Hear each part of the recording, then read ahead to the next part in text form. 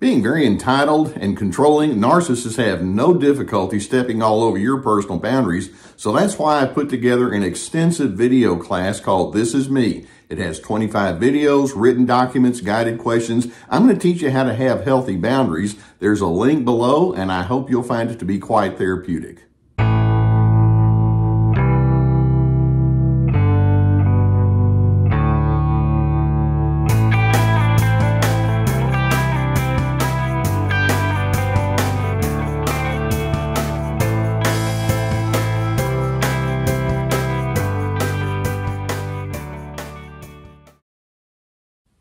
Going to ask you a rhetorical question as we begin here today, which basically means I pretty much know the answer to your question before I even ask it. And that is, how many times have you made efforts to talk about differences between yourself and that narcissistic person only to conclude this is a futile effort?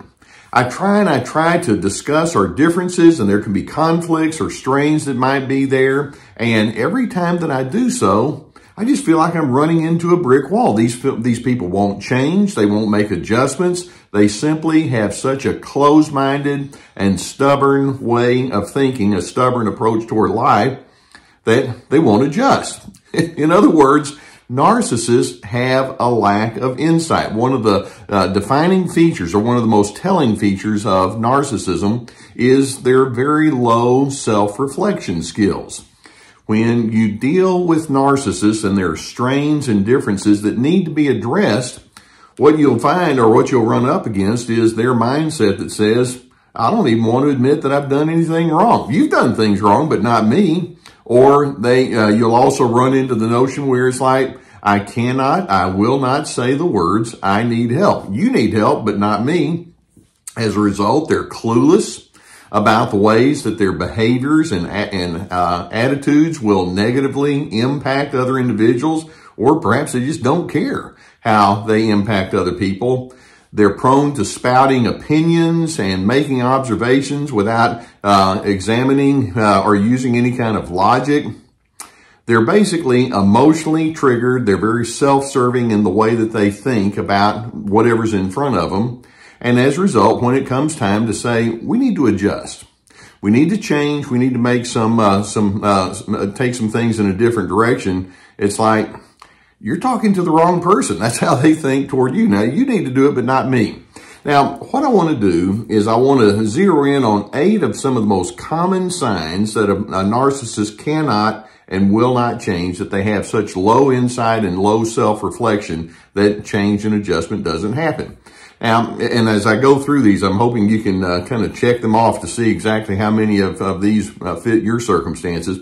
First and foremost, one of the things that narcissists will do is they won't just dismiss your concerns or your perspectives. They'll actually ridicule you. So when you come towards a narcissist and say, hey, look, there's something I'd like to talk about. There's something that just isn't making sense. Let's talk this thing through. Instead of saying, okay, what do you have on your mind? They're going to uh, come back immediately with those uh, derisive kinds of remarks like, this is stupid, or where'd you come up with a dumb idea like that? And immediately, it's their way of letting you know, if you think that I'm interested in making any kind of adjustments, you're talking to the wrong person. A second sign that they will not change is they have an inflated sense of their own uniqueness.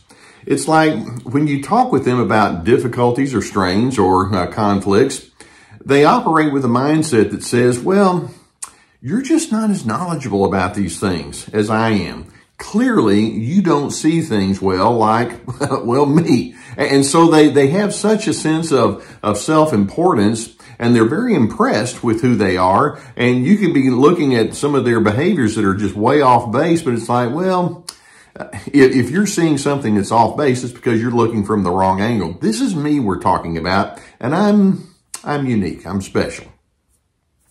A third sign that they will not change is they have a deep habit of blame shifting. Let's suppose that there has been something that's very obvious that needs to be discussed. There's been a bad argument or some blunders have been made. Rather than saying, ooh, I need to look at this and I know that I contributed to this and uh, why don't we put our heads together so we can figure out how to move on from here.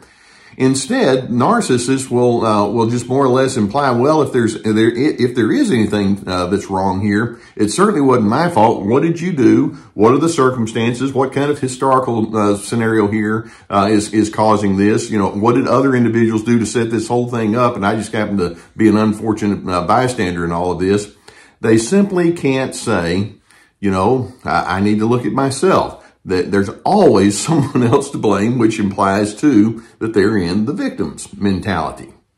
Now, a fourth sign that narcissists won't change is they have a strong, overpowering need to be in control, even when it's not even necessary. And I'm not just talking about control over uh, fixed circumstances like, you know, what time we're going to do things or uh, how my procedures are going to be, although, of course, uh, that's part of it.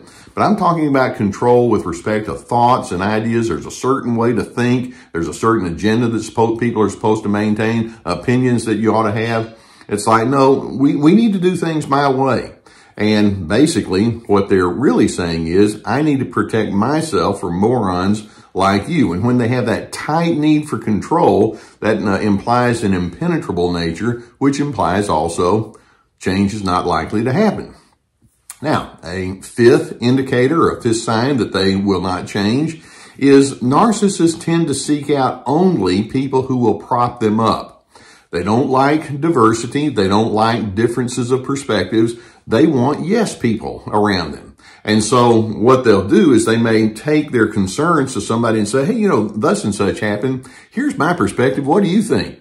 And they're very happy when someone will come along and say, oh, great master, you, you, you're the one that knows everything. It's like, yeah, I kind of thought so. They only want people who are going to agree. And rather than saying, I'd like to hear from somebody that's looking at it from a different angle, it's like, why would I need to do that? And as a result, it, it becomes a self-reinforcing style of communication that gets them nowhere in a forward direction. A sixth sign that these individuals refuse to change is that in general, they're not just skeptical, but they're cynical. Skepticism means that you're willing to weigh things out, the pluses and minuses in a careful uh, kind of way. Cynicism means that you're wanting to weigh things out, but you have an attitude of pessimism that goes along with it. They easily can find things that are wrong. Well, the reason is this, is I don't like that. Or they, uh, they, they think adversarially when it's not even necessary. The cynicism that they bring to the equation uh, sets them up to have an already negative expectation of how things are going to unfold. And as a result, adjustments are not made. A seventh indicator that they will not change is they can create drama. And then they blame you for not responding well to that drama. For example, they may yell at you, they may accuse you, they may be very disruptive or non-cooperative. And then when you come along and say, hey, this isn't working for me, then they can come along and say, oh, so you just can't get along with anybody, can you? so it's like, no, what I'm trying to say is there's a disruptive feature here and I'd like for us to do something about that. It's like, yeah, this proves why I just can't work with you. You're always complaining about something. So they set up the very thing and it's the ultimate gotcha game. And then when you come back, it's like, man, see how problematic you are. Therefore, I don't need to adjust. You do. And then an eighth indicator that narcissists won't change. And that is You'll notice that they tend to stay with the same maladaptive behaviors over and over. How many times have you thought, this happened six weeks ago, this happened eight months ago, this happened 15 years ago, I've been, I've been dealing with this for so long, and I'm thinking, well, is today going to be the day that it's going to change? And the answer is, well, probably not because they just keep doing the same thing over and over. Uh, the old definition of insanity, expecting different results, but you're not going to get different results when you try to talk with them about it. So these are some signs that say these people indeed do have low insight, they have low self-reflection uh, skills, and as a result, the change is not going to happen.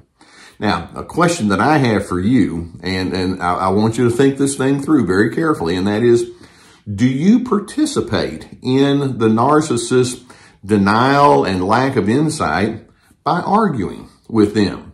Do you participate by pleading your case with them only to find yourself tied up in knots from the inside out. And that can be your lack of insight if you continue to do that. Uh, again, I go back and say, I, have talked to so many people that will say, well, I, I just keep uh, having the same problems and we just don't get anywhere. And yet they describe how they, uh, they uh, plead their case and they try to make their arguments. And it's like, well, why are you doing it again? And it's like, you know, I, I think I need to adjust. That being the case, I'm hoping you can have a, a, sense that says, well, somebody in this equation needs to be self-reflective. Somebody needs to apply insight so adjustments can be found.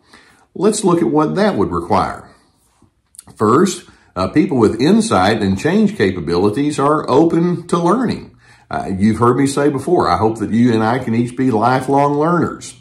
Second, uh, people who can change and adjust, uh, adjust appreciate the significance of context. You know, there are times when we need to know, you know, what's the context of what's going on here? What are some of the contributing factors? And they like to enter into that kind of space. They like to be challenged with a broader thinking and a, consideration of nuance. In addition, insightful individuals will uh, are, are quite willing to just pause and reflect. Let me pull back let me think things through. Let me take a little bit of time out. I, I, need to just cogitate on whatever it is that's going on here. Narcissists tend not to have the patience for that. In addition, people with insight will proactively seek other individuals who might have different thoughts. In their conversations, uh, they, they seek people who will talk with them about it. They read things uh, that will challenge their thinking. They're able to be uh, comfortable in the presence of uncertainty sometimes people uh, won't change because it's like, I don't want to introduce anything that, uh, that I don't quite understand. And so they just have to have that tight agenda. And certainly individuals who can change can appreciate the distinction between conformity and harmony. Narcissists want you to conform, and as a result, they won't harmonize. They won't allow for differences even as we learn to blend. In order to change, in order to have adjustments, you have to have certain ingredients like humility and empathy. I just mentioned patience and inclusion. And those are characteristics that are in short supply with a narcissist.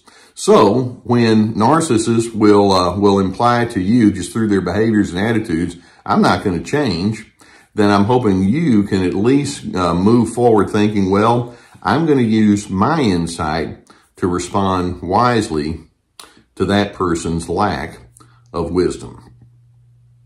Now, I hope that videos such as this can give you some good awareness of what you're dealing with. If you've not already hit that subscribe button, I would encourage you to do so. Hit the notification bell that goes along with it. We're going to keep more videos coming in your direction. I know that there are times when it would be helpful for you to receive some form of therapy, and you know that I've been sponsored for years now by the online therapy service betterhelp.com. It's become popular and, and uh, uh, effective and affordable. And so if that's a need that you would have, I would encourage you to go beneath our, uh, uh, the video here to the link that we have, and it'll take you straight to there. Uh, people who have uh, the licensed professional therapists that can you can select from. In addition, I have my therapeutic courses. And uh, these are very extensive. It's like signing up for an online class. Each course has multiple videos and uh, and written documents that go with each video, plus guided questions, and uh, it can be quite helpful in uh, guiding you through some of the issues you have. We have Ready, Set, Connect about making good connection skills. This is me about establishing good boundaries, free to be, finding yourself despite those controllers. We have my webinars that have already been presented, also my podcast. We have our website with lots of articles, my books, plenty of resources. Okay, I, I know that it's so frustrating when you think, well, I'm willing to change. I'm willing to adjust. I want to have insight. And the narcissist says, well, you need to change and you need to have insight because I sure don't. Okay, know what you're dealing with and recognize that they have so many elements in place that they just cannot go into that space with you. But as you accept that and move forward with your own healthy initiatives, I'm hoping it will take you to a place where they can't go, and that is a place where you have steadiness and especially that you're able to move into a place of personal peace.